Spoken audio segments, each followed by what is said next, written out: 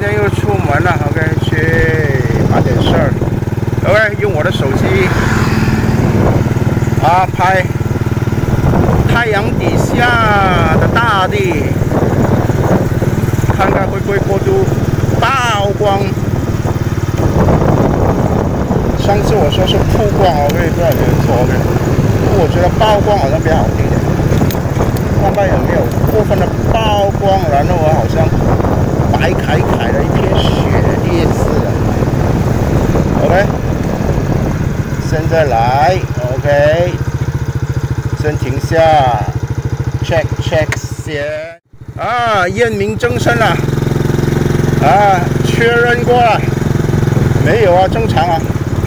不知道为什么上次前几天而已嘛，拍两条，我在树荫底下拍的，好吧的，啊，然后呢，一跑到一跑到那个太阳照晒的地方呢，啊，沿途呢一边拍呢，全都是大包光的一片白啊，白雪雪的白啊，啊，老妈的手机啊，花了那个一个月了。的月费啊，满了。马来西亚是这样的啊，明明是一号啊，一号到期啊，他昨他们呢，他们昨天啊，他们昨天就把你的不是我老妈我老妈手机的网线给给给给断了。每都提前提前一天了，你知道吗？说明了二三十天了，其实就让用二十九天而已。那你有什么办法呢？啊，啊，我也不知道什么办法。你说换一家吧，换另外一个那我公司吧，我也不知道可不可以啊。我也不可以，不知道可不可以。可能另另外一家那个通讯公司呢，可能也一样，对，也一样啊，是让你用二十九天的呢。哎呀，所以真的是很难说，很难说啊！昨天提到了，哎呦，那个吴艳丽啊，吴艳丽赢了嘛，对不对？十二点七四啊，跟啊林雨薇在去年九月杭州亚运会所创造的纪录打平了，OK，打平手了，喂。啊，我也不知道为什么，OK，林雨薇可能状态，我不知道他状态怎么样，怎么样啊？林雨薇和和夏思宁的状态都不是很好，夏思宁好像才才跑第四吧，因为第三名是那个老将啊，陈佳明啊，OK，相当很好的。现在现在夏思宁啊，就是十三点多，十三点六多啊，四多啊，最上次最厉害就跑到。十三点，哎呀，多少啊？十三点十三吧，还是什么？我忘了。最，他是最好的记录了。还有另外一个，那个一一百米短跑，啊，十五岁的，OK，又另外一个天才少女啊！啊，中国的媒体最喜欢天才少女啊，从全红婵到江平，啊，到那个张张子宇，OK，二，啊，两米二十八公分高的啊，到现在的。叫陈洁宇，哇，十五岁竟然跑赢了两个大姐姐，葛曼棋和梁小晶啊！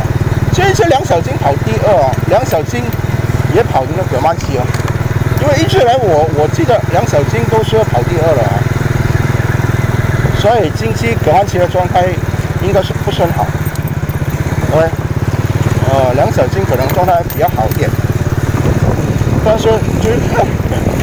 真的意想不到，呃，上次啊，前两个礼拜吧，葛曼棋和陈陈雨洁也跑也跑过，啊，那一次呢，葛曼棋呃跑第一，好像跑只是差一点点而已啊。OK，他们两个等两个的得分是差一点点而已。这次哎啊，小妹妹终于啊，再接再厉，OK 啊，终于跑赢了两个，大姐姐，这不真的是不可思议啊！你看，你看那个陈雨杰，他才十五岁，吧对？他个子也不是很高哦，而且瘦瘦小小个，竟然竟然能跑，我都我都无法接受，这样说。所以你可以想象，OK，他多两两年后十七岁啊。哇，你看到十七岁，如果他再长高一点的话，那不得了；再长高一点，的话，肌肉再发达一点的话，那不得了，对不对？再过两年十九岁，的话！如果他能够坚持跑到三十岁的话，那就是未来十五年，那个中国的短跑的短跑领域了呗。那应该是由这位小妹妹陈雨洁来来来统治了啊。所以，哎，江山代有人才出，江山代有人才出，鹤龄风骚数十年。哎呀，这句话啊，这出出自于谁谁的手？这我也不清楚啊。如果有网友知道的话，就请啊，不吝指教啊！真的吗？OK，十四亿人口的大国，对不对？出几个 OK 天赋啊，特比特别厉害的，OK，挡挡了没有问题的，就好像江平这样子的，要等到八月多才能够知道他的成绩了。啊，我个人我相信这是江江平个人的能力，OK，着什么假？找什么枪手？有枪手这么厉害，他们自己出来出来考啊，还需要躲在背后当枪手？你愿意吗？